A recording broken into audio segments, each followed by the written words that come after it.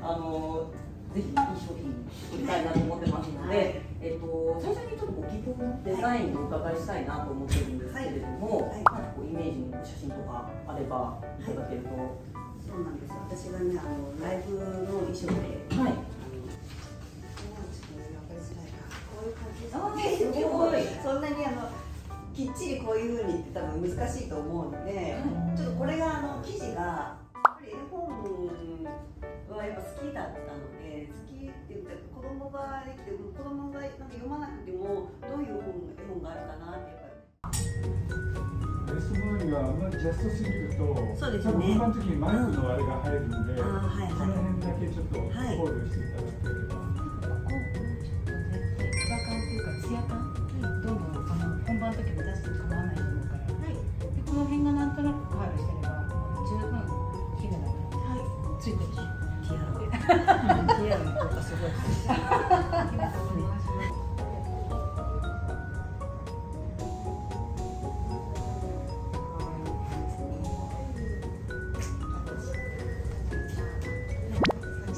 ちょっと詰めちゃっていいですか。はい。はい。ちょっといじっちゃいますけど、どうしようかな。入れてみましょうかな。どうですか。姫です。出来上がりました。今回はこんな感じの役です。ちゃんと姫になりたいと思います。10年ぶりの舞台になるので、なかなかね、ちょっとこうしっかり稽古して挑みたいと思います。ごいね子供たちが大勢いるそういうね音楽劇になるんでまあそこも楽しみながら子供たちと和気あいあいとできたらねいいと思います。子役の子2人会いましたけど、はい、どうですか？いやすごくねすっごく可愛い。なんかねすごく9歳なんだけどでもなんかすごいしっかりしててねちょっと私もいろいろ見習いたいと思います彼女たちの方でもしかしたらね舞台とか最近ね出てらっしゃると思うので、はい、ちょっと先輩って感じでついてきたいと思います。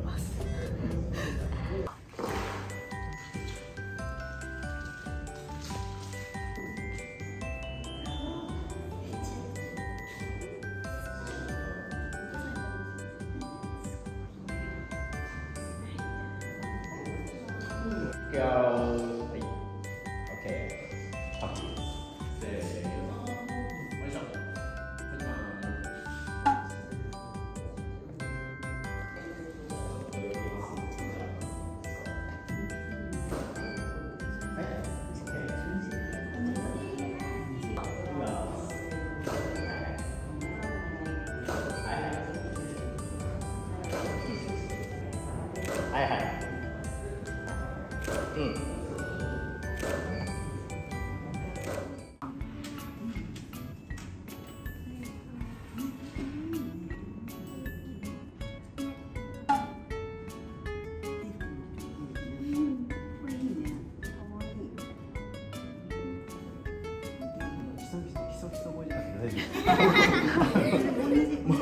普通にお話しして大丈夫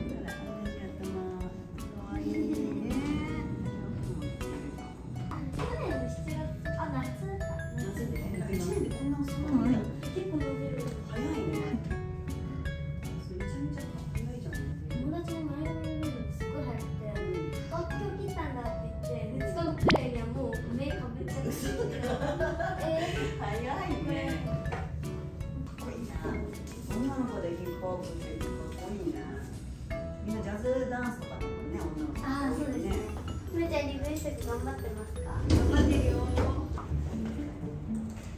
い。そうですね。あの日本中で愛されている今のこちらの作品がもう小さい頃に本当に憧れたそういう姫像というとても優しくて芯が強くてで音楽が大好きなそういう姫も私の小さい頃にこう描いて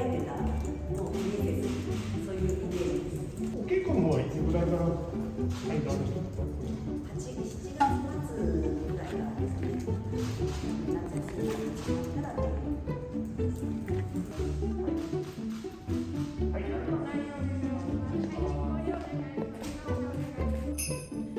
学校音楽劇ジャッキーと不思議なオルゴール。